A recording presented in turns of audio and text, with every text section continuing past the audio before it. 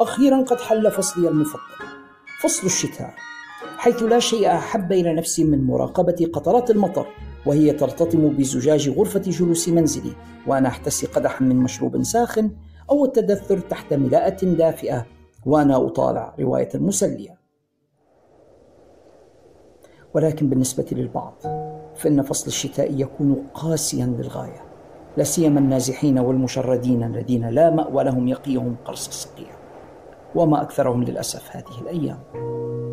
لذلك إن كان بمقدورك التبرع بما لديك من ملابس شتوية زائدة عن حاجتك أو ببطانيات أو بأفرشة أو بنقود لشراء أجهزة تدفئة وكنتم داخل ليبيا فاتصلوا بجمعية عائشة أم المؤمنين رقم 092 607 33 40 أو 091 431 45 20 السيد فرج عمر أو بالسيد يونس علي جودر رقم 094 323 48 98 حيث سيقومون بإذن الله بإيصال تلك الأشياء إلى محتاجيها.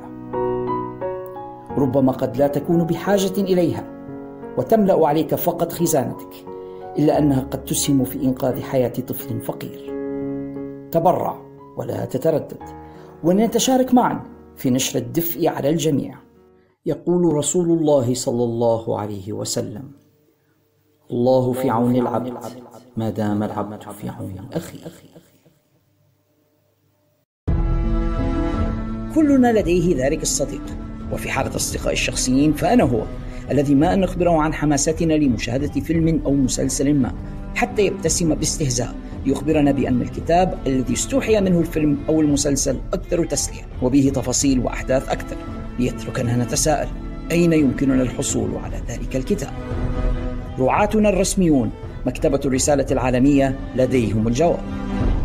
لدى مكتبة الرسالة العالمية سوف تجدون جميع تلك الروايات التي تقتبس عنها الأفلام. Harry Potter The Witcher Jack Reacher Sherlock Holmes Lord of the Rings Game of Thrones الذي تستمعون إلى لحنها هنا. جميعها بطبعات أصلية ومقابل أسعار مناسبة. وإذا كان كتابك المفضل غير موجود لديهم فلا تقلق. بإمكانهم جلبه لكم بأسرع وأقل تكلفة مما يتطلبه شراؤه عبر الإنترنت. مكتبة الرسالة لا تبيع الروايات فقط حيث لديهم الكتب الدراسية والقواميس والمراجع في كافة المجالات العلمية. وإذا لم يكن بمقدورك الذهاب بنفسك إلى المكتبة أيضا لا تقلق. فلديهم خدمة التوصيل كذلك. فماذا تنتظرون؟ عالم من المعرفة ينتظركم بمكتبة الرسالة العالمية. زوروا صفحتهم في وصف هذه الحلقة واتصلوا بهم للحصول على ما تريدون من الكتب. فقط أخبروهم أنكم من مستمعي البودكاست وبأن ال Prof هو من أرسلكم. مكتبة الرسالة العالمية جسركم إلى المعرفة العالمية.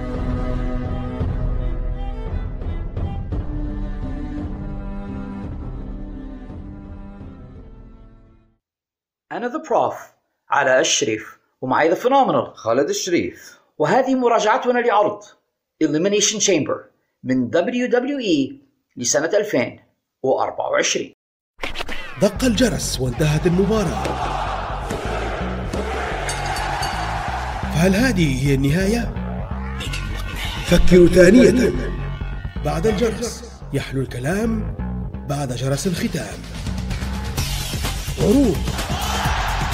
مباريات نتائج تحليلات تقييمات مع خالد الشريف A little bit of the bubbly.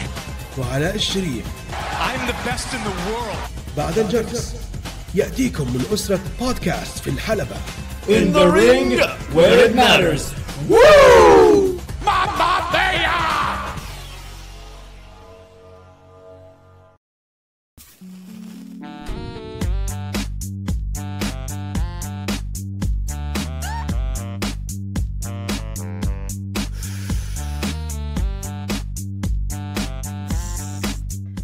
الله الرحمن الرحيم. أعزائي المستمعين في كل مكان السلام عليكم ورحمة الله وبركاته.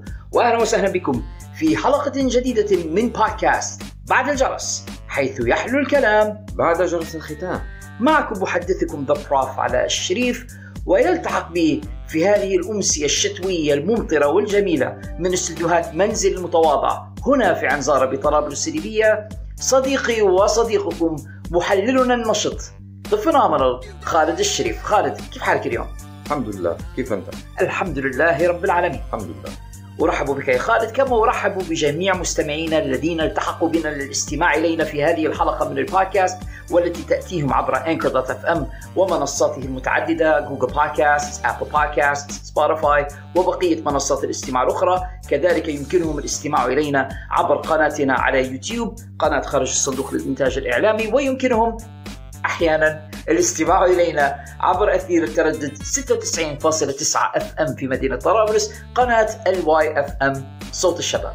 فحيثما كانوا في أرجاء هذا العالم الفسيح وايما كانت الوسيلة التي اختاروها للاستماع إلينا عبرها نرحب بهم جميعا فردا فردا في هذه الحلقة من البودكاست التي تأخرت قليلا. خلينا شوية وقت لمستمعينا الناس اللي ربما ما تحصلوش فرصة لمشاهدة عرض Elimination Chamber. خلينا لهم بعض الوقت لكي يتمكنوا جميعا من المشاهدة. وهو جينا مع بعضنا الآن للاستمتاع بالحديث حول ما حصل في ذلك العرض وتحليل مجريات.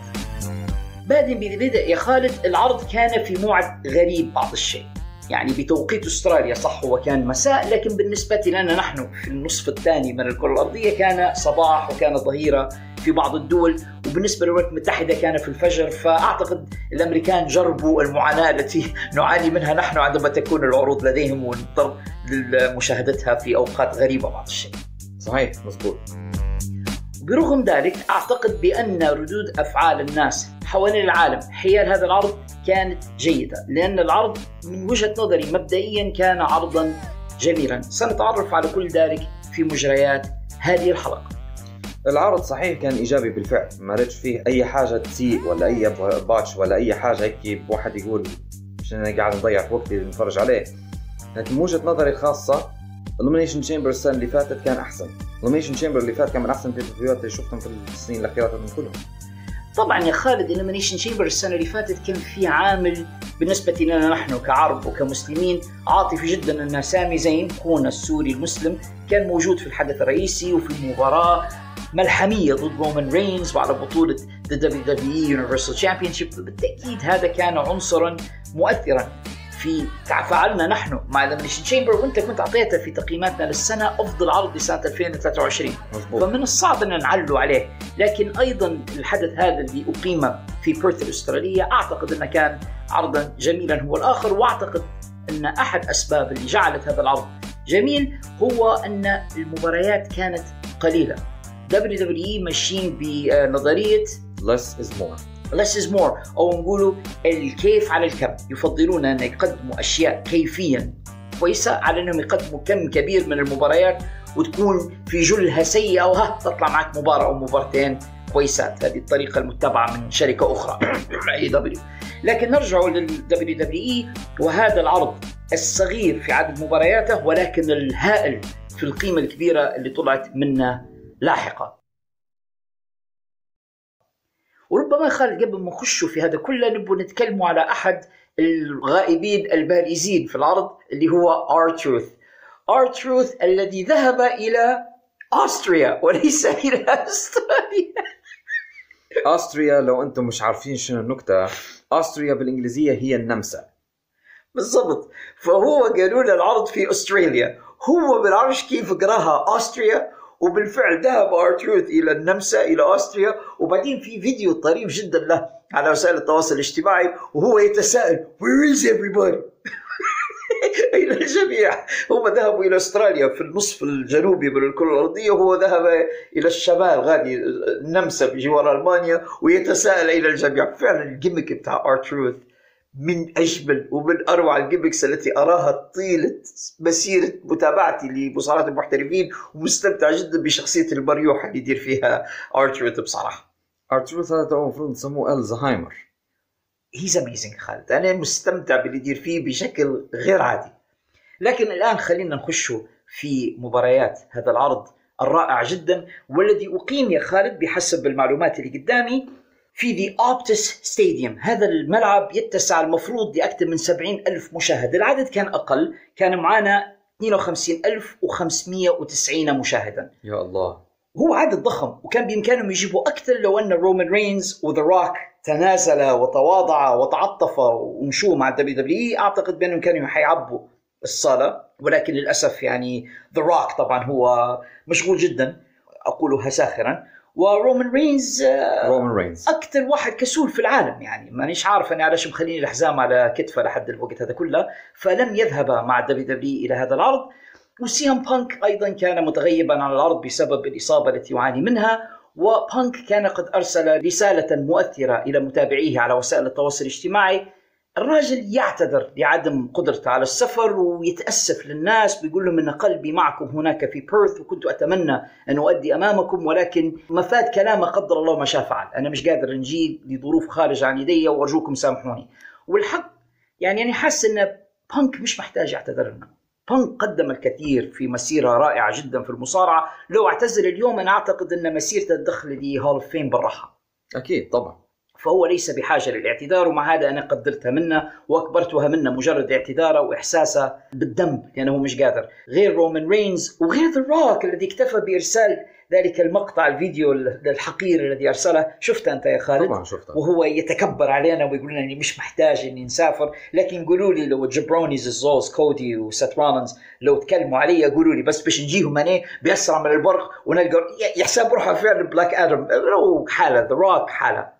آه والله شتان ما بين هذا وهذا يعني بين CM Punk وبين The Rock روم الحق. الحمد لله الذي جعل أعداءنا حمقى. الحمد لله. وصدق من قال الغباء جندي من جنود الله. أحسنت. سلم. نرجع يا خالد إلى عرضنا اللي قلنا أقيم في the Optus Stadium وكان عدد الجمهور الحاضر 52 ألف والعرض لم يكن فيه سوى خمسة نزالات. عندنا واحد في ال kickoff show وضيف في اللحظة الأخيرة لأن اندي هارتويل أسترالية وكانوا حابين يحطوها قدام الجمهور في العرض ثم أربع نزالات فقط هي التي كانت في هذا العرض خلينا نشوفهم مع بعضنا. يا عزيزي خالد. Let's go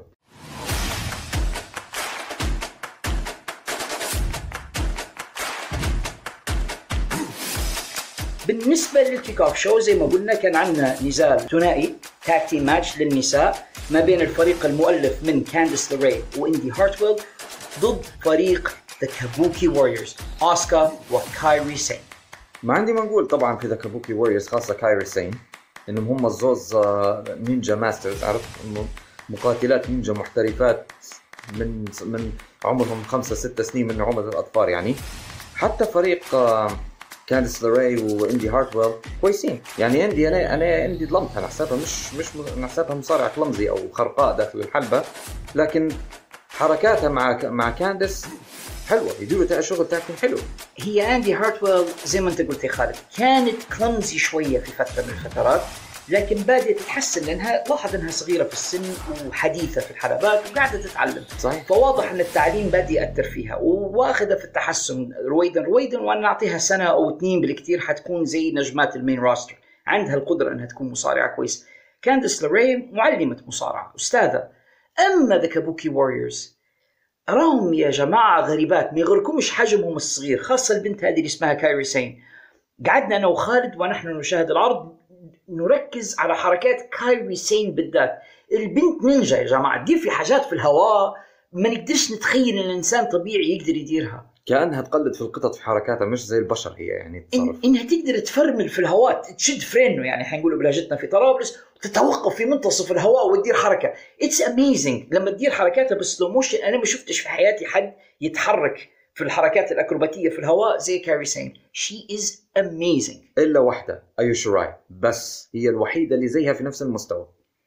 النزال كان جميلا. ربما عابه فقط انه ما كانش طويل جدا. 8 دقائق و55 ثانية يعني أقل من 10 دقائق. وانتهى بفوز ذا كابوكي ووريرز في نزال أنا حنقيمه بثلاثة ونص. نفس الشيء ثلاثة ونص وكان فوق مستوى الح... م- فوق مستوى نزالات الحلقات العادية. ومناسب للعرض هذا وخاصة في المكان اللي هم فيه. عفارم عليهم. ندخل الآن إلى جزء ال pay-per-view من العرض ولو أنها في الحقيقة لم يعد pay-per-view هو الآن يسموا فيهم premium live events. لكن. يقولوا الجزء اللي هو مش ال kickoff وهذا الجزء بدأ بنزال نساء في ال elimination chamber ويا له من نزال. عندنا يا خالد نخبة من نساء الدبليو دبليو اي في قفص واحد وهؤلاء النسوة سوف يتواجهن في واحد من أقوى نزالات chamber التي أراها منذ زمن. عندنا باكي لينش ضد نايومي ضد تيفاني ستراتون ضد ليف مورغان ضد بيانكا بالير ضد راكيل رودريغيز عندنا أحجام مختلفة عندنا أساليب مختلفة عندنا أنماط مصارعة مختلفة عندنا دول مختلفة. تحس كأنه كأس عالم للمصارعة. باكي لينش إيرلندية. عندنا راكيل مكسيكية. it's amazing عندنا خليط غريب من المصارعات داخل الحلبة وقدمن سيمفونية داخل الحلبة. طبعا أنا في ملاحظة قلتها في المباراة عن ليف مورجان بالتحديد. أنت لما شفتها خشت للحلبة قلت أنها أضعف وحده قلت لك لا ما تستخفش بها. هذه أنا نشوف فيها الجوكر متاع المباراة. قصيرة مكيرة. وفعلا كانت هيك قصيرة مكيرة والجوكر. تعبتهم كلهم ودوختهم كلهم وصمدت للنهاية في المباراة. من المصارعات اللي فعلا لفتنا انتباهي في هذا النزال تيفاني ستراتون. تيفاني ستراتون مرشحة وبقوة أنها تكون خليفة شارلوت. إلا لو استمرت بالأسلوب الانتحاري اللي تلعب به هذا؟ آه لو فعلا لو استمرت في إنها تأذي نفسها بهذه الطريقة فعلا ممكن تقصر من فترتها في الحلبة لكن الطريقة اللي تتحرك بها وقوتها البدنية وسرعتها بجد أنا كنت أتوقع أن شارلوت لا تتكرر لكن تيفاني ماشية على نفس المسار. she is amazing باكي لينش غنية عن التعريف. أكيد. أراها من أفضل المصارعات من زمن مش بس الآن. نايومي كانت شوية off كانت بطيئة بعض الشيء حسيتها متثاقلة في الحلبة مش عارف شو قصتها بالضبط. فعلا تنحس هي أضعف واحدة رغم أن الكل كانوا ممتازات حتى راكيل اللي إحنا ظالمينها كلهم كانوا ممتازات إلا نايومي كانت off راكيل يا خالد قصة بروحها. راكيل كيفن ناش نسخة نسائية. أندرتيكر نسخة نسائية. شن هذا؟ يا للهول. البنت قوية. وتتحرك بشكل كويس. وفعلا جبارة جت لقطات كانوا يحاولوا كلهم يثبتوها في نفس الوقت ومش قادرين تنطر فيهم من عليها وتستمر. وحش كانت راكال رودريغيز أو راكال غونزاليس. أنا دائما أتلخبط في اسمها يعني. speaking of إمرأة جبارة what about بيانكا بالير بيانكا بالير للهول. رواية بروحها. هي super athlete رياضية خارقة. اللي تدير. فيه في الحلبة بجد يعني it's unfair it's unfair البنت هذه المفروض ما عادش تصارع على البنات المفروض تصارع على الرجال. هذه أعجوبة من أعاجيب المصارعة في الزمن هو. فبصراحة النزال كان قوي جدا رائع جدا مسلي. ما تعرفش في بعض اللقطات من الذي سيفوز. إحنا كنا من البداية متوقعين إن اللي حتفوز فيها باكي لينش وقد كان لكن ليس بسهولة. لا بالعكس. استمر هذا النزال لمدة 32 دقيقة و15 ثانية. انتهى بفوز باكي لينش. بجدارة واستحقاق في رأيي. أبصر لكن الجميع اللي كانوا في الحلبة باستثناء نايومي قدمن مستويات رائعة جدا وأنا متوقع أنه حينبثق عن هذا النزال عداوات فرعية حنشوفوها في رسلمانيا وحنتكلموا عليها أنا وأنت يا خالد في فقرة وبعدين لما نكملوا من عرضنا للمباريات. شو تقييمك للنزال يا خالد؟ perfect five أنا كذلك حنعطيهم full 5 out of 5 طبعا مباراة السنة اللي فاتت النسائية متاع ال elimination chamber كانت أقوى كانت ستة من خمسة. لكن حتى هذا كان كويس ما فيه الكفاية. ربما عن هذا تحليلي أنا أنه هو قالوا لهم نقصوا شوية من من الشدة متاع السنة اللي فاتت باش ما تصيرش إصابات أو يحدوا من حصول إصابات. أنا هيك تصوري. هو بالفعل يا خالد موضوع الإصابات هذا الآفة التي تخشاها الدبليو دبليو أكثر من أي حاجة ثانية لأن أسوأ حاجة ممكن تصير لهم الآن في الطريق إلى رسلمانيا أن يتعرض المزيد من النجوم والنجمات إلى إصابة تقعدهم على المشاركة وتلخبط مخططاتهم من جديد. فلهذا بيحاولوا شوية يدخروا بعض ما لديهم من أجل رسلمانيا مع هذا أنا شايفهم قدموا اللي عليهم وزيادة. النزال كان رائع بمعنى الكلمة. ننتقل الآن يا خالد إلى النزال التالي وهو نزال فرق ثنائية ما بين فريقي The Judgment Day اللي هم أبطال الثنائيات في WWE الموحدين يعني عندهم The World Tag Team Championship و The Universal Tag Team Championships. معلش بيدمجوهمش في حزام واحد وخلاص. باين فين ودايما يبوها هيك. لكنها شوية عبثية إن عندك زوز أحزمة وهذاك عنده زوز أحزمة. الأفضل إنه ي- يوحدوا الأحزمة وخلاص يسهلوا الموضوع على أنفسهم. على أي حال حيصارعوا خصومهم اللي هو فريق The New Catch Republic بيت دون وتايلر بيت. تايلر بيت هذا يا خالد شكله very uh, deceiving. يعني لما تشوفه من برا تقول إنه شن هذا؟ ما يعطيش انطباع إنه مصارع قوي بينما هو في الواقع أستاذ مصارعه وبيت دون هو بيت دون غني عن التعريف. شرير. الولد هذا سادي يا جماعة سادي مجرم. هذا الولد داعشي بصراحة. الحركات التي يأتي بها لما يمسك أصابع أحد خصومه ويبدأ يفرق فيهم و... بجد هذا المفروض يحطوه في واحدة من السجون يعذب في الناس أو كذا. مجرم مجرم بيت دون. اللي هو خريج نفس المدرسة بتاع زاك سيبر جونيور والمدرسة الإنجليزية القاسية. مارتي سكيرل نفس المدرسة نفس المدرسة. فظيع. بالنسبة لفريق جادجمنت داي كان معاهم برا في البداية دومينيك ميستيريو المزعج وجمهور بيرث الأسترالية سمعوا رأيهم فيه. الولد مسكين تهزأ. 52590 يعني أسمعوه وسخوا دانا زي ما نقولوا بلاجتنا. يعني لما حاول يقدم أصحابه على أنهم الأبطال وقعدوا بوينج هيم ما سمعناش صوت. تخيلوا هو يعلي صوته بالميكروفون ما سمعوش صوته. ما فيش قريب. فايدة. قريب ما سمعوش صوته. أنا مش عارف ليش الولد هذا مكروه عالميا بهذا الشكل ولكن عندنا عندنا آه، فين بالر اللي هو بالفعل من أساتذة المصارعة في العالم وأنا صحيح. مستغرب إنه مش واخذ وضعه الذي يستحقه في دبليو دبليو وديميان بريست اللي له وعليه هو مصارع كويس لكن لسبب ما أنا مش قادر أهضمه يعني. من بعد ما دار هذيك العلاقة مع باد باني وأنا قصدي من بعد ما غلبه باد باني وأنا مش مش متقبل الولد بصراحة. برغم ذلك الجميع قدموا لنا نزالا جميلا في حركات وفي متعة وبجد من المباريات السريعة اللي بالرغم اننا الجميع وإحنا معهم كنا متوقعين فوز فريق Judgment Day إلا أن في بعض اللقطات فعلا فريق ال New Catch Republic اشعرونا أنهم ممكن يفوزوا في هذا النزال يعني هي كانت مباراة تحبس الأنفاس. باللفظ هيك كنا في لحظات خاصة لما يحاولوا يعدوا The New Catch Republic يحاولوا أنهم يعدوا على ديميان نحس وأنا خلاص المباراة بتتم نفس الشيء يلوحهم زوز من عليه. تحس هيك للحظة إنهم بينتزعوا الفوز لكن احكي لنا يا خالد على ال finish. هي كانت عمل ثنائي حلو من كل من ديميان ومن آه، فين. هو قدر فين إنه يدير ال tag في اللحظة الأخيرة بسرعة والحكمة شافاتها. بعدين هو ديميان زي اللي حدف آه، بيت دون على الأرض قدر يدير له هيك حركة قوية من الحبل الثاني الثاني نعم. وبعدين فين بذكاء حتى هو دار هذيك ال stomp الهوائية على صدر بيت دون وبسرعة عدى عليه وانتزع الفوز هو وديميان على The New Catch Republic في في حركة نيو جيبانية الحقيقة. النزال استمر لمدة 17 دقيقة و25 ثانية بفوز زي ما قلنا فريق The Judgment Day وأنا شخصيا سأقيم هذا النزال بأربعة ونص. بالفعل أربعة ونص تستاهلها وكانت مباراة نعاود ونكرر تحبس الأنفاس كويسة جدا.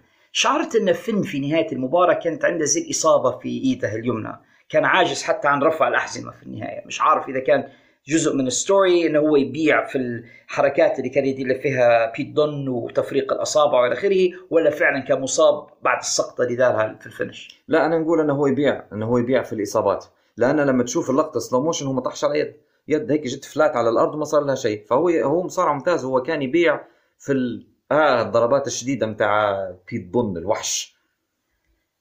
وتوا يا خالد وأصدقائنا المستمعين حناخذ فاصلا قصيرا وعندما نعود سنواصل تغطية أحداث هذا العرض من دبليو دبليو إي عرض Elimination Chamber فلا تذهبوا بعيدا فاصل ثم نواصل. What many people don't realize is that it's at that moment when the bombs stop falling, when the dust has actually settled, that the vast majority of medical and mental health needs among children really begin to emerge. And that is the moment that we need to be ready for, especially when it comes to Gaza. We're not able to get in there right now. We don't know what we're going to see. We don't know what we're going to find. We don't really know what to expect.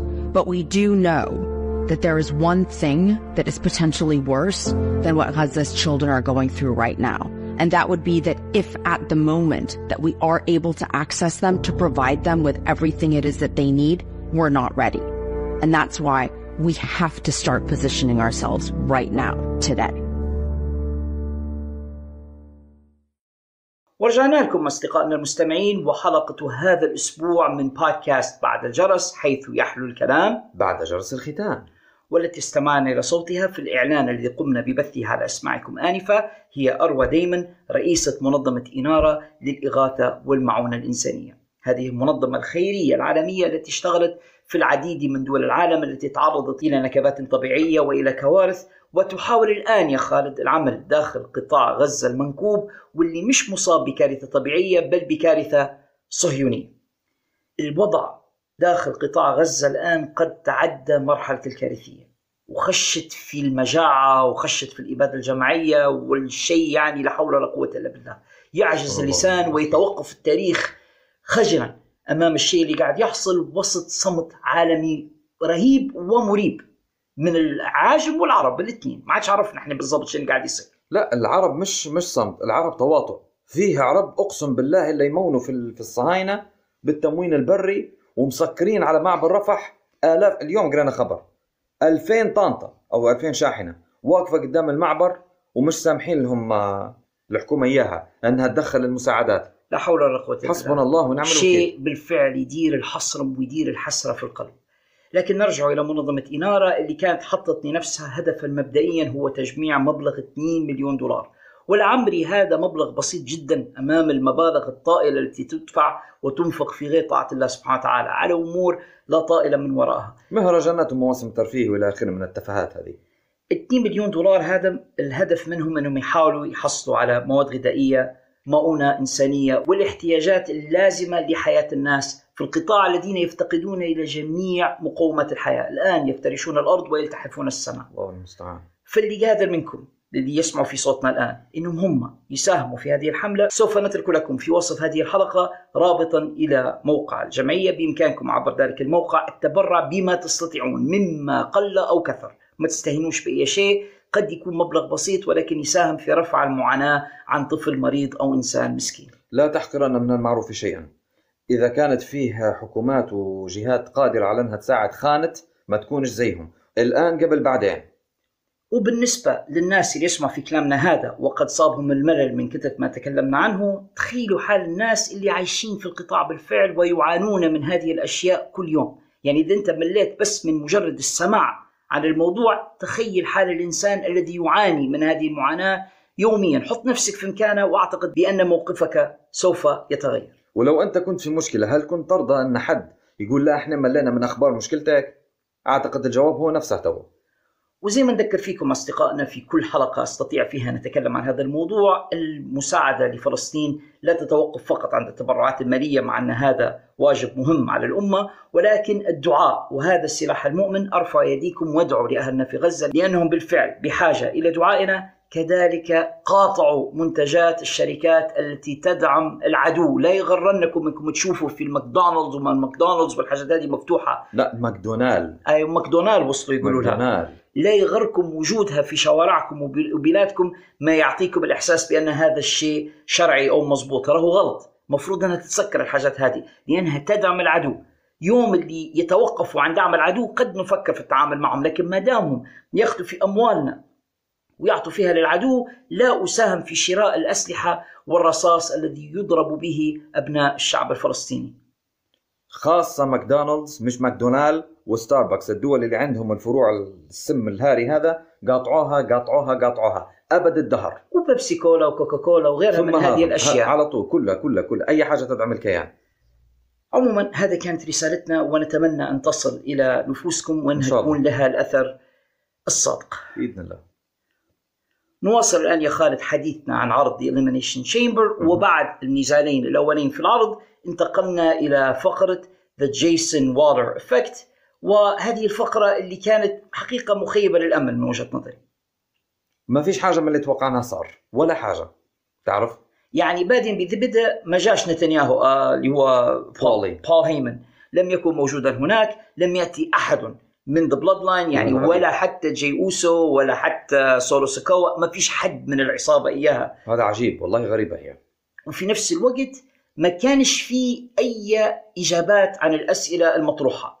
يعني الفقرة بدأت وانتهت بدون ما يجاوبونا بالضبط ما الذي سوف يحصل في راسلمانيا. لا زادوا حيرتنا أكثر. بدأ الأمر بست رولينز الذي أخذ يتراقص كما عادته فقط ليقول لنا بأنه هو قد أصبح أو يقترب من أن يصبح مصرحا له بالمصارعة من جديد وهو سعيد جدا بذلك وبأنه سوف يؤدي بشكل رائع في رسلمانيا الله على الإضافة. إحنا كنا متوقعين هذا أصلا يعني. نورت المحكمة.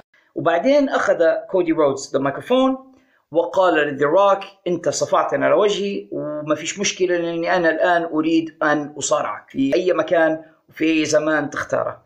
طيب يا فالح ما دام انت هيك ليش ما ضربتاش لما ضربك من الأول؟ وليش ما درتوش مباراتكم في Elimination Chamber؟ الموضوع لو أصبح عبثيا بصراحة. يعني okay أنت أكلت الكفة متاعك في المؤتمر الصحفي. وبدل ما ترد على ذا روك رجعت إلى خلف الكواليس وتتبكي توا تريد مباراة مع ذا روك كويس أنا أريد هذا النزال أنا الآخر. لماذا لم تقيم هذا العرض هنا في بيرث الاستراليه العرض فيه أربع نزالات بس أو خمسة نزالات. كان بمقدوركم إنكم أنتم تضيفوا نزال ذا روك وكودي رودز وتسعدوا الجمهور بهذا النزال وتنهوا هذه القصة. لا ذا روك هذا الخنزير حشاكم يريد النزال في رسلمانيا. يعني ضروري ما يكون ليه هيك ضروري ما يكون له أثر هناك في رسلمانيا. يريد أن يصارع في رسلمانيا 40 هذا يفتح الباب أمام أسئلة لا تنتهي ولكننا سنحاول. النظر فيها يا خالد لما نتساءل فيما بعد وبعدين. على كل حال انتهت هذه الفقرة بتدخل أوستن ثيري مش عارف ليش. أوستن ثيري هذا الغلام الأمرد وقف ما بين سيث وكودي وبدأ يتظاهر بأن ذا روك وبجد يا خالد راهو الشيء اللي دار أوستن ثيري في, في هذه الليلة مسح أي نوع من المصداقية أو القابلية له عندي إلى يوم القيامة. أنا لن أقتنع بأوستن ثيري بعد الآن. شكله زي little brother الأخ الصغير يدير في حركات ذا روك doesn't matter ومش عارف شنو يقلد في ذا روك وبعدين أخذ سيث رولنز وكودي وأعطوه طريحة يعني وانتهى الموضوع مع هذا التافه. هل أنت بس تقتنع بأوستن ثيري؟ تعرف لأي درجة وصلت بينا نحن طاح من عيوننا؟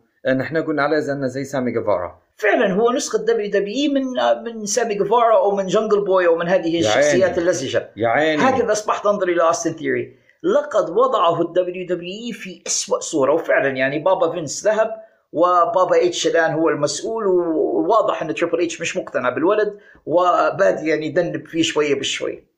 فهذا ما رأيناه مع اوستن ثيوري المسكين الذي تلقى الغضب من كودي ومن سيث رولنز لكن بصفة عامة الفقرة كانت تافهة وسخيفة ولم تضف إلى معلوماتنا الكثير. مع أن إحنا كنا متوقعين أن هذه حتكون أهم حاجة في العرض حتى أهم من مباريات ال Elimination Chamber نفسها. فإذا بها كانت فقرة كأنها فقرة في سماك داون ولا في رو مش فقرة pay-per-view خيبة كبيرة يا رجل. ننتقل الآن يا خالد إلى النزال التالي و chamber الرجالية. ويا الله يا خالد على chamber الرجالية يا الله. لقد وضعت دبليو دبليو إي فلذات أكبادهم في هذا النزال. يعني سنتحصل على أفضل مصارعي الشركة في مكان واحد في نفس الوقت في نزال لانتزاع بطاقة التأهل إلى حدث رئيسي لليلة الأولى من رسلمانيا ضد سيث رولنز من اللي معانا يا خالد؟ عندنا درو ماكنتاير بوبي لاشلي كيفن أوينز ال اي نايت يا لوغان بول وراندي أورتون. شنو الواحد بيقول عن هؤلاء الوحوش؟ وحوش؟ نقول يعني. كل واحد فيهم بروحه تقدر تبني عليه شركة. مثلا. حتى لوغان بول. يا ودي لوغان بول هذا لو كان يهيج أو يلعب في الاتحادات ال indie لاعتبروه زي ويل اسبري الولد عنده كل شيء يرى جميع مقومات النجم الكبير موجودة في لوغان بول كيفن أونز وحرفنته وخبرته وتاريخه السابق وشراسته وقوته. راندي أورتن غني عن التعريف أعتقد. بوبي لاشلي هذا الوحش الضاري. ال اي نايت اللي نشوف فيها ستيف أوستن الجديد. ودرو ماكنتاير عاد. the Scottish Warrior اللي بدا مؤخرا من ملوك دبليو دبليو إي. فعندنا نزال ما بين مجموعة من أقوى النجوم.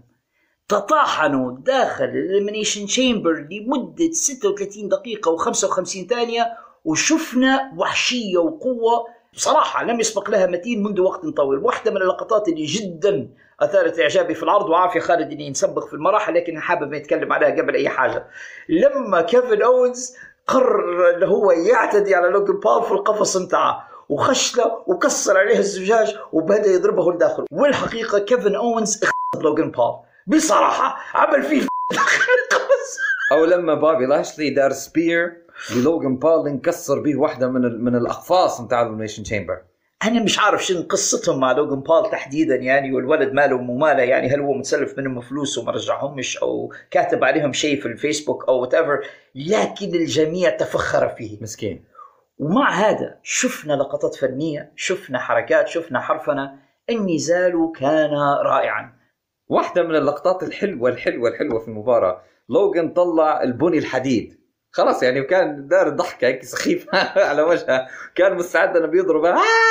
فإذا براندي اورتن فجأة هكي out of nowhere يعطيه واحدة RKO. فظيعة فظيعة فظيعة. فجأة هيك راندي اورتن طيلة النزال كان يبدو عليه الألم في ظهره. وكأنه. شفت بعض الناس يتكلموا في ال social media ويقولوا انها تمثيل. لا ليس تمثيلا. بالنسبة لراندي أورتن هو عامل عمليات على ظهره وبالفعل يعاني كان.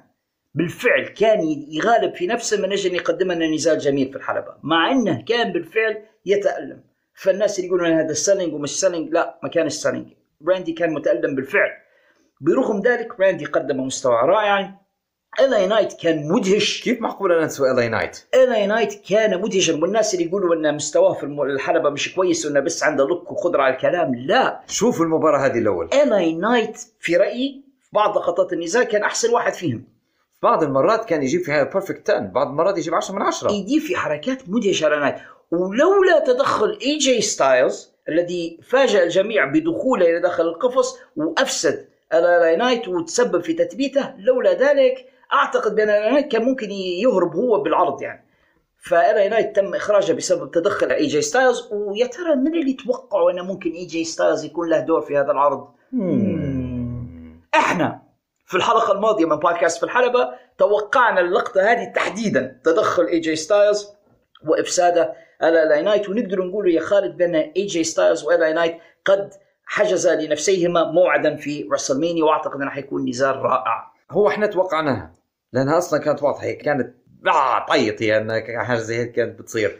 لكن أنا توقعت حتى كيرن بيخش بس ما خش يعني. على كل حال هذا النزال كان رائعا جدا قويا جدا ويفتح الباب أمام ما سوف يحصل الآن في رسلمانيا لأن درو ماكنتاير هو الذي فاز كما توقعنا. درو ماكنتاير الآن هو الذي حجز بطاقة التأهل وحيواجه سيث رولنز في الحدث الرئيسي لليلة الأولى من رسلمانيا في شهر أربعة المقبل. ما نعرفش هل الكتاب أغلق على هذا النزال أم أن الباب مفتوح لتواجد أناس آخرين في هذا النزال نفسه؟ سنتكلم عن ذلك بعد قليل. ولكن يا خالد نقدر نقول بأنه كان من أقوى مباريات الليلة. شخصيا أنا سأقيمها ب 4.75 أنا خمسة. ما فيش فيهم واحد إلا عجبني. كلهم كلهم كلهم بلا استثناء كان أدائهم رائع وبطولي وشجاع وانتحاري. نصل الآن إلى الحدث الرئيسي وهناك الكثير من الناس كانوا معترضين على وضع هذا النزال في الحدث الرئيسي. أنا شخصيا كنت أتمنى لو أنهم أنهوا العرض بال elimination chamber الرجالي ولكني أتفهم أسباب تريبل اتش لوضع هذا النزال في الحدث الرئيسي لأن ابنة البلد ريا ريبلي اللي هي بطلة في الدبليو دبليو وبالفعل نجمة كبيرة حبينا أم كرهنا ريا ريبلي الآن ستدافع عن لقبها ضد نايا جاكس على أرضها وأمام جمهورها. بل وأمام أهلها. عائلتها كانت في القعمزة في الصف الأول تفرج على بنتهم. ابوها أمها أخوتها. قالوا 13 من عائلتها كانوا موجودين هناك في العرض لتشجيع ريا ريبلي النزال كان قويا. الحقيقة أنا أحيي شجاعة نايا جاكس. اللي الجمهور كله كان يهتف ضدها مع أنها مسكينة ما دارت شيء يعني. هي جاي تصارع بس. كانوا booing أخذت نصيبها من هتافات الاستهجان مع هذا ما خلتش الموضوع هذا يأثر على أعصابها وقدمت مستوى أعلى بكثير مما كانت تقدمه زمان وأنا ما زلت في كلامي عن نايا جاكس أنها تطورت أنها تحسنت. كانت زمان botchy وترتكب الكثير من الأخطاء أصبحت يا خالد الآن نايا جاكس مصارعة محترفة جدا. بالفعل محترفة جدا. صار لها مستواها في كل شيء زاد. شخصيتها طريقة كلامها مصارعتها داخل الحلبة. راهي الحركة اللي تدير فيها هذه نتاع ال squashing هذه السحقة اللي تدير فيها. لو ما تضبطش لو ما تديرش حتى هي فرامل زي اللي تدير فيها كاري سين في الهواء لو نايا ما ما تديرهاش راهي ممكن تكسر حد أو تأذي حد لكن هي فنانة في في الفرامل اللي في الفرامل في الحركة هي يعني. بعض المصارعين يا خالد عندما يعاقبهم الدبليو دبليو اي بفصلهم من الشركة الموضوع هذا يكون بمثابة درس قاسي بالنسبة لهم وبالفعل يعودوا على أنفسهم باللائمة ويحاول إنه يصحح الأخطاء ويحاول يرجع من جديد أفضل مما كان وواحدة من الناس اللي فعلا واضح إنها أثر فيها التأديب نايا جاكس اللي اشتغلت على نفسها اتدربت اتعلمت أنقصت من وزنها أنا بصراحة أي حد يتطور ويتحسن دائما ما أكون هنا لتحيته تهنئته ونقدر نهنئ نايا جاكس على المستوى الرائع جدا اللي هي عليه بصفة عامة وأدائها في هذا العرض بصفة خاصة. أما ريا ريبلي فهي غنية عن التعريف. المصارعة هذه ممتازة جدا، عندها القدرة البدنية، عندها القوة، السرعة، المهارة داخل الحلبة، هي مصارعة متكاملة. وعانت عانت عانت جدا في المباراة هذه لأنها طبعا هي تواجه في the irresistible force يعني القوة اللي ما تقاومش إنها يعني زي البلدوزر نايا جاكس. وعانت تبهدلت وكافحت. رغم هذا قدرت بمنتهى الصعوبة بشق الأنفس أنها تنتزع انتصار غالي وثمين من خصمتها اللدودة نايا جاكس. النزال استمر لمدة 14 دقيقة و35 ثانية فقط إلا أنها كانت كافية لمنحهما من وجهة نظري درجة أربعة ونص. أنا أعتقد بأنه كان نزالا جميلا جدا وقد يكون مرشح يكون نزال السنة النسائي لسنة 2024 مبكر. بالفعل أنا موافقك في الترشيح لكن أنا مختلف معك في التقييم. أنا أربعة. كانت مباراة كويسة هي بكل معنى الكلمة وأنا أيضا مش معترض على أنهم حطوا المباراة هذه في المين إيفنت. واضحة الأسباب ليش؟ أنا فهمها وماشي تمشي. كم من الألعاب النارية اللي تفجرت أوه. بعدين فوق الملعب؟ حاجة مهولة. أكثر من الألعاب النارية اللي أعطوها لكودي وجو الزوز فعلا واضح ولاء الجمهور الأسترالي لبنتهم اللي كانوا بالفعل موجودين هناك من أجل تشجيعها وشفنا محبتهم لريا ريبلي ريا ريبلي التي قفزت إلى وسط الجمهور وجلست مع أمها وأبيها وأخوتها. ابوها كان cute بصراحة فرحان هيك هو يصور واحدة بنت. اللقطة حسيت بها لأني أنا أب برضه لبنت فأنا عارف الإحساس هذا اللي حميمية حسه. يعني لقطة حميمية. فرحة الأب ببنته لما. تدير حاجة كويسة يعني. مم. ولو أن إن شاء الله ديما نشوفوا بناتنا في حاجات أفضل من هيك يعني. لكن عموما أنا قادر أفهم الشعور العام. والعرض بصفة عامة يا خالد كان جميلا. وأحيي الدبليو دبليو أنهم لم يكتفوا فقط بتقديم عرض جميل ولكن أيضا عرفونا على بلد ما كناش نعرفوه وعلى ثقافة بلد ما كناش شفناها قبل أستراليا إن كانوا يذيعوا في لقطات ما بين النزالات يورونا في مشاهد آه، سياحية من أستراليا لأن العرض كان برعاية الحكومة الأسترالية واصلا كانوا يريدون الدبليو دبليو من أجل التعريف بالسياحة في أستراليا فشفنا بلدا جميلا وطبيعة خلابة وجمهور محترم بصراحة عجبني الجمهور الأسترالي كان حيوي ويغني مع مع المصارعين ويهتف كانوا جمهورا رائعا بصراحة كانوا كانوا رائعين. وشفنا حيوان الكوالا ال cute واحد منهم اللي خش به كيفن اونز فعلا معاه. نسيت اللقطة كيفن اونز شاد معاه كوالا وهو خاش. فالعرض كان جميلا بالفعل. وزي ما قلت لك يا خالد أنا نحب نظرية الكيف على الكم اللي الدبليو دبليو يتبعونها. يعني أربع مباريات ومباراة واحدة في ال kick off سهل الهضم سهل الامتصاص ما يتعبكش ما يحيركش. استمتعنا كثيرا بهذا العرض. بالفعل ممتع. ما فيش حنكليشيات شنكليشيات متاع اي دبليو أو غيره. لا كان straightforward هذا اللي أنا يعجبني في عروض دبليو دبليو مؤخرا. وعليه قديش تقييمك العام له؟ 8 ونص. 8 ونص تقييم عالي جدا. أنا حاعطيهم 9 من عشرة. حقيقة أنا استمتعت كثيرا بالعرض وحسيت إنه من العروض الجميلة لهذه السنة وياخذوا مني thumbs up قوية جدا بتاعت. ماتشو مان راندي سافج. على طول. وليس ال lazy thumbs up بتاع أورنج كاسيدي. لا وأنا واحد واحد يا- يدير thumbs up big بتاع ماتشو مان وهو ياخذ جيم يا الآن يا خالد وقبل أن ننهي هذه الحلقة من البودكاست السؤال الذي يلقيه الجميع دائما. وبعدين تفرجنا إحنا على هذا العرض وعرفنا نتائج المباريات اللي كنا في الواقع قد توقعناها حتى قبل العرض. جميع المباريات توقعنا نتائجها مقدما يعني قبلها بأسبوع وكانت بريدكتبل لكن السؤال الآن وبعدين ما الذي سوف يحصل بعد ذلك؟ أنا حنضرب لك مثل يا خالد لكي أوطئ للفكرة عندك وعند أعزائنا الجمهور. عندما يشاهد أحدنا فيلما عن جيمس بوند أو يقرأ مغامراته في رواية من الروايات هو يعرف مقدما بأن جيمس بوند سوف ينتصر في القصة. ديما يربح جيمس بوند. السؤال مش هل سينتصر السؤال كيف سينتصر؟ هذا هو السؤال the how يعني السؤال مش if يعني هل بل السؤال كيف. بالضبط. فنحن كنا نعرف بأن درو ماكنتاير سيفوز في ال chamber الرجالي وأن بيكي لينش ستفوز في ال chamber النسائي. هذا كله كان واضح. السؤال الآن ماذا سيحصل فيما بعد؟ ما الذي سوف ينجم عن كل هذا؟ بالنسبة لمباريات النساء أعتقد بأن أمورهم الآن واضحة جدا. حيكون عندنا بإذن الله إيو شيراي ضد بيلي. على بطولة نساء SmackDown حيكونوا عندنا بيكي لينش ضد ريا ريبلي على بطولة نساء Raw. أعتقد بأن هاتين المباراتين خلاص في الشنطة. مش حيتغير فيهم شيء إلا لو لا قدر الله تعرضت إحدى المصارعات إلى إصابة ونتمنى الا يحصل ذلك. هذا بالنسبة للوضع النسائي. ولكن قد تكون هناك عداوات فرعية ستنشأ عما حصل داخل ال chamber أنا متوقع يا خالد بأننا سوف نرى تيفاني ستراتون ضد بيانكا بلير. لأن كانت في الكثير من المناوشات ما بينهما داخل ال chamber والاثنتان بصراحة super athletes رياضيات فظيعات.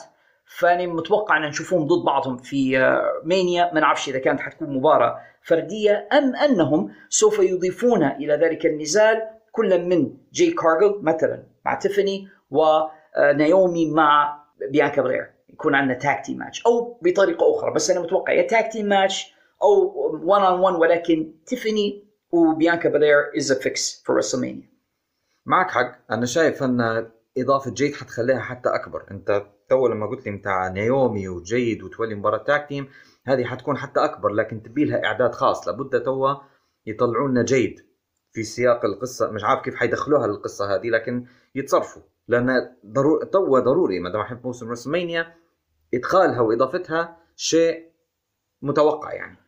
بالنسبة لجيد كارجل ولو إنها بطلة سابقة في AEW ولكن لن يعتد بذلك. هم قاعدين يجهزوا فيها من أجل أنها تكون مهيئة لحلبة ال WWE ولا أعتقد أنهم سوف يضعونها منذ البداية في مباراة فردية في WrestleMania. فوضعها داخل ال tag team match حماية لها وأيضا تعليم لها. فأعتقد بأن بدايتها ستكون في tag team هذا قد تكون بيئة آمنة بالنسبة لجيد كارجل إنها تكون مع مخضرمات زي بيانكا بلير ونايومي. تيفاني أيضا تعتبر حديثة نسبيا. إحنا كنا أعطيناها rookie of the year أو أنا كنت أعطيتها rookie of the year السنة الماضية. وهي ما زالت جديدة في the main roster قد يكون ضغط كبير عليها إنك تحطها في مباراة فردية في WrestleMania أيضا وضح إن tag team حيحميها من الكثير من الأخطاء التي قد تقع فيها. فهذه واحدة من النزالات اللي يعني متصورها. قلنا إل إي نايت حيتواجه مع اي جي ستايلز أعتقد بأن هذا الموضوع انتهى هو الآخر وسيكون أحد نزالات WrestleMania يتساءل الكثيرون لماذا لم يكن جونتر موجودا في Elimination Chamber جونتر لم يذهب معهم إلى أستراليا لأن الوضع التأشيرة متاعه في الولايات المتحدة لا يسمح له بالمغادرة. هو قاعد الآن يجري على موضوع ال green card والإقامة الدائمة في الولايات المتحدة وأعطينا مدة لا يستطيع فيها مغادرة الولايات المتحدة. فهو الآن ضمن تلك الفترة فما يقدرش يغادر. لهذا السبب لم يسافر. ولكن أعتقد بأننا سوف نرى جونتر في WrestleMania يدافع عن لقبه. السؤال ضد من؟ ما أعتقدش ضد جاي أوسو لأن جاي أوسو الآن مرتبط مع جيمي. أعتقد حنشوفهم ضد بعض 1 on 1 على ما أظن. جونتر أنا متوقع يا خالد إما ضد تشاد جيبل وأعتقد انه حيكون رائع لو لو تشاد جيبل يلعب ضد جونتر في WrestleMania أو ضد سامي زين. شو تتوقع أنت؟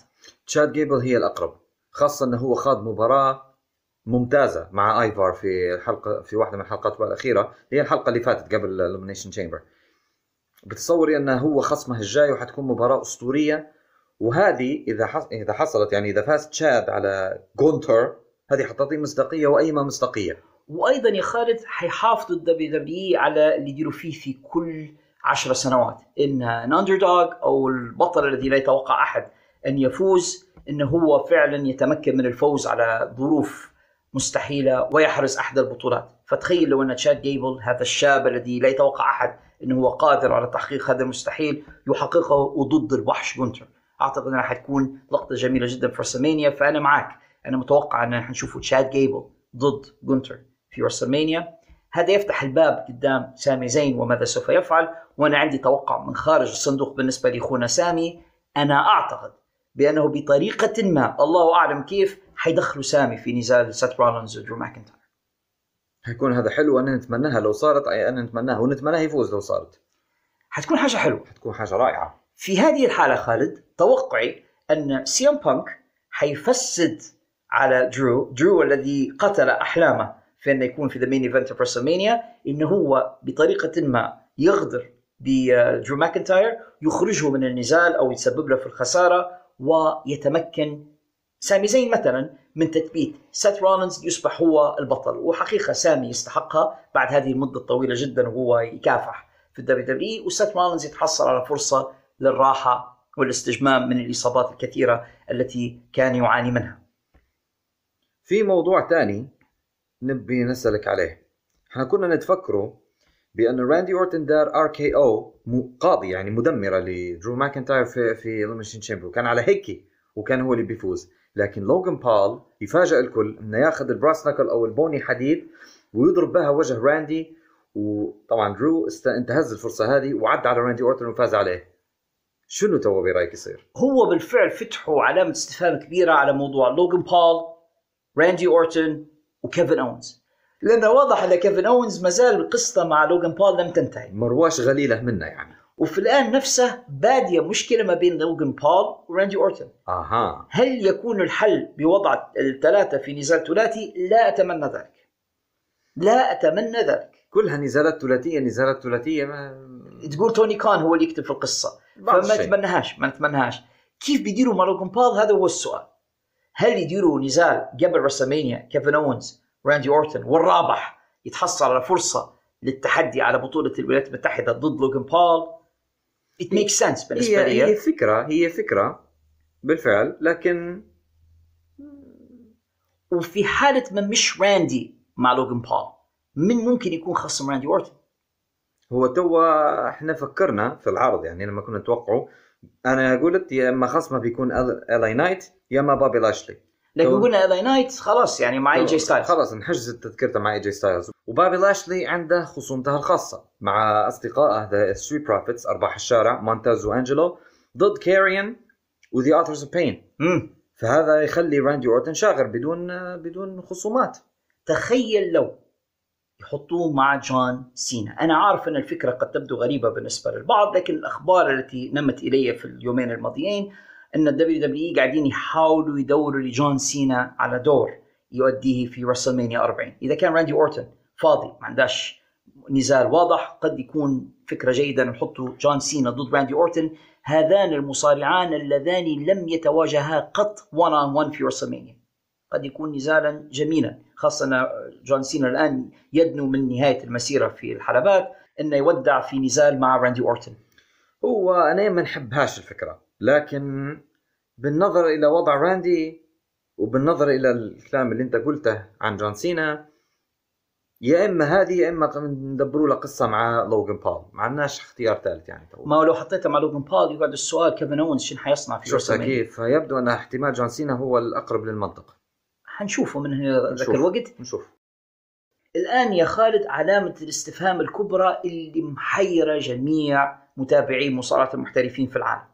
ماذا سوف يفعلون ب The Rock, رومان رينز، كودي رودز، سيث رولينز هل سنرى مثلا في الليلة الأولى نزال ما بين كودي رودز و The Rock 1 on 1 والفائز مثلا يتأهل لنزال مع رومان رينز طب هو مش already حددوا أو بالفعل حددوا إن الخصومة حتكون بين كودي ورومان بالضبط يعني حشر The Rock في الموضوع بصراحة يعني كان شيء غير مطلوب على الإطلاق لأنه لخبط الدنيا.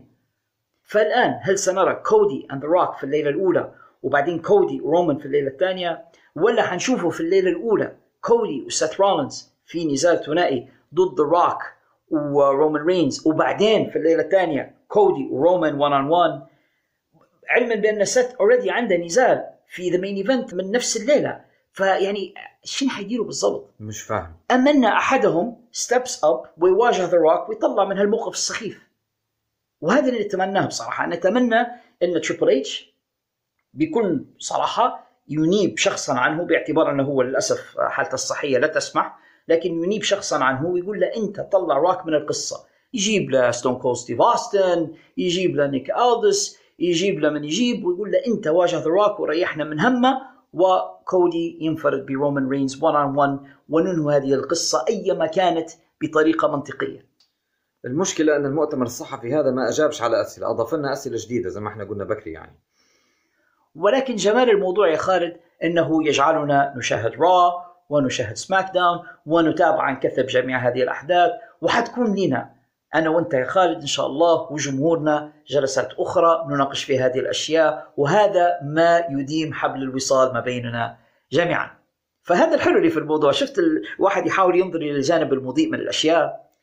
لو أنت شايفها هيك ممكن لكن أنا بفكر في زاوية الحاجة اللي دارتنا الصداع أنا هذه اللي مركز عليها تو اللي شفناه واللي زاد لنا حيرتنا أكثر هذا اللي مركز عليه لكن نظرتك أنت كويسة نظر وجهة نظر كويسة يعني.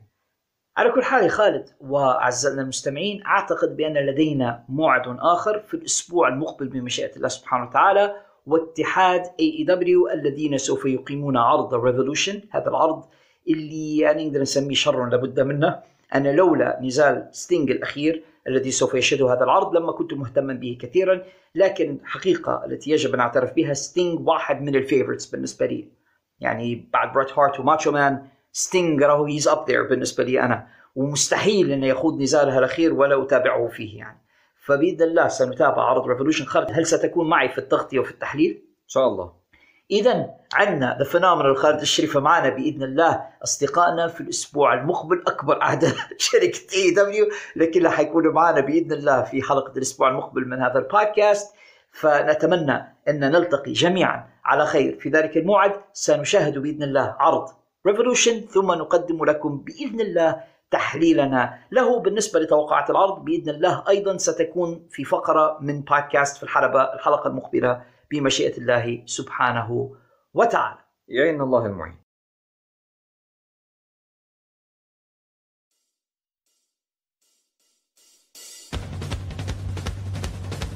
خالد أنا استمتعت كثيرا بوجودك معي في هذه الأمسية الشتوية الممطرة والجميلة. Of course, thank you. كما أشكر جميع مستمعينا الذين كانوا معنا في هذه الحلقة التي أرجو أن يكونوا قد استمتعوا بها. إذا كان الأمر كذلك أتمنى أن يتكرموا علينا بترك علامات الخمسة نجمات في ال Apps والتطبيقات التي تستمعوا إلينا من خلالها. علامات الخمسة نجمات تلك تساعد هذا البودكاست كثيرا على النمو والانتشار والوصول إلى آفاق أبعد. إذا كانوا يسمعوا فينا من خلال يوتيوب فما ينسوش يديروا like subscribe share تفعيل جرس التنبيهات لكي تصلهم الإشعارات بالحلقات الجديدة اولا بأول كلموا أصدقائكم ومتابعيكم على وسائل التواصل الاجتماعي عنا واخبروهم بأنه عندما ينتهي العرض وتسمعون جرس النهاية فإن المتعة نفسها لم تنتهي بعد لأنه يحلو الكلام بعد جرس الختام. أوه ياه وغصبا عن دوين